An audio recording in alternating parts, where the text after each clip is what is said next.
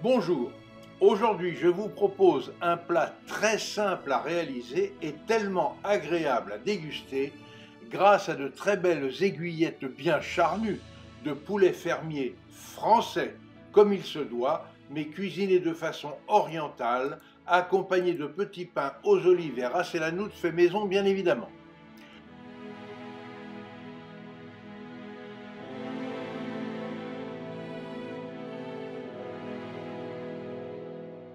Concernant une bonne viande de poulet, il est primordial de rappeler qu'en France, en général, et en Occitanie en particulier, tout un chacun a un très large choix de producteurs d'excellentes volailles élevées en plein air dans de beaux pâturages et nourries de bons grains de la ferme. Alors, faisons travailler exclusivement nos paysans français pour réaliser ensuite de bons petits plats. Et n'allons surtout pas acheter en grande surface ces médiocres poulagos venus d'innommables élevages industriels du Chili ou encore de l'Ukraine via la Pologne pour obtenir illégalement le label UE. À croire que certains mauvais élus de Bruxelles et autres technocrates peu scrupuleux de l'Hexagone sont sourds, muets et aveugles. D'ailleurs, à ce propos, on devrait se poser la question à qui profitent ces désastreux trafics qui nuisent à longueur d'année à nos agriculteurs français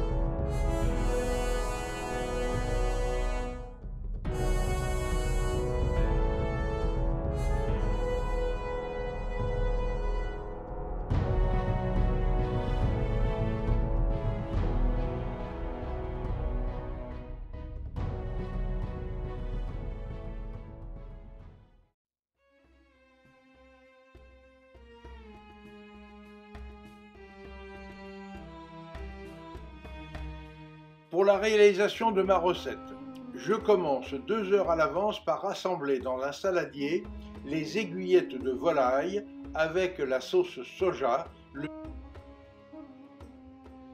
le, jus de citron, l'ail haché,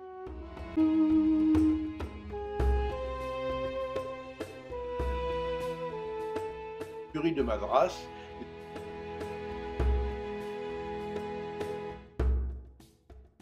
graines de sésame noir et le piment d'Espelette. Je mélange le tout et je laisse mariner au frais afin que la viande s'imprègne bien des différents aromates qui l'accompagnent.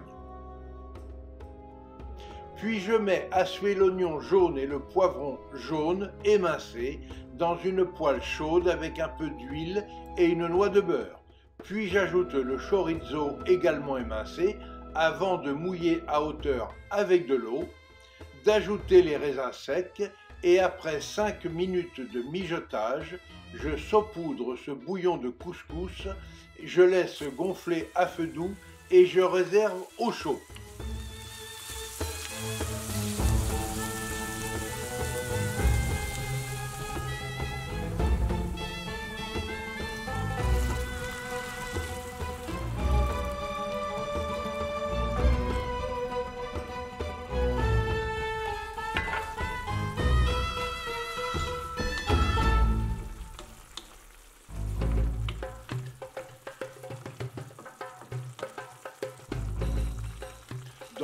Autre poêle chaude, toujours avec un peu d'huile et une noix de beurre.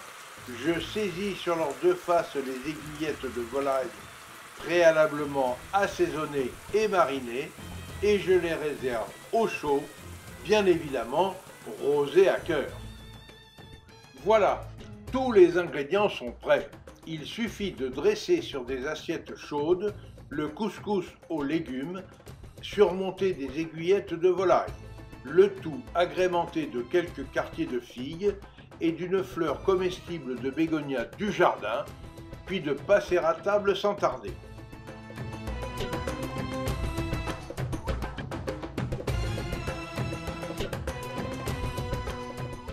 Pour accompagner ce plat, j'ai servi un très bon vin rosé, à l'instar de la cuvée Le Bois des Anges, du Mas des Anges, cépage, Tanat et Cabernet Franc de chez Philippe Romain dans l'appellation Coteau et Terrasse de Montauban.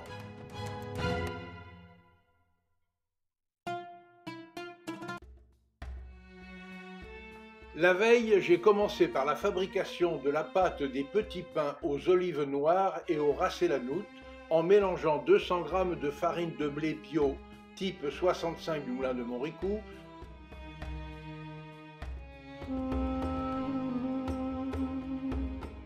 une cuillère à café de fleur de sel, sucre de canne,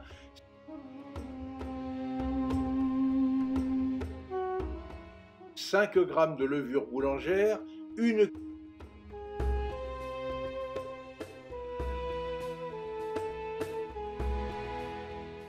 une cuillère à dessert de race El Hanout en poudre,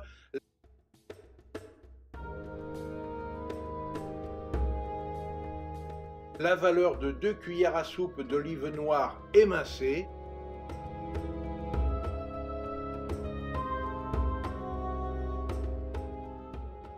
10 centilitres d'eau tiède et j'ai laissé reposer cette pâte toute la nuit. Le jour J et deux heures avant le service, j'ai façonné et cuit au four à 180 degrés pendant 35 minutes les pâtons des petits pains installés dans des cercles adressés.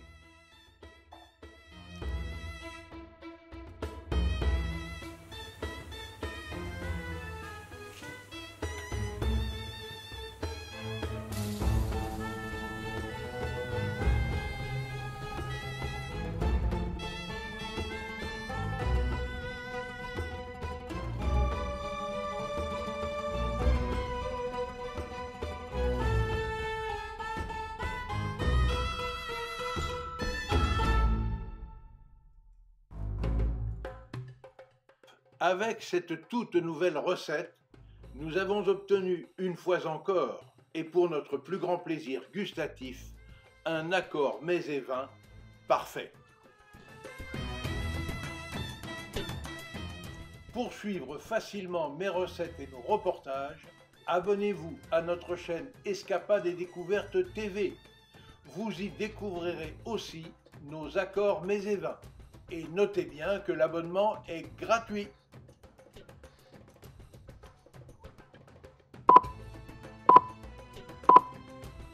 Et surtout, obligez-vous à faire travailler les producteurs locaux de vos régions.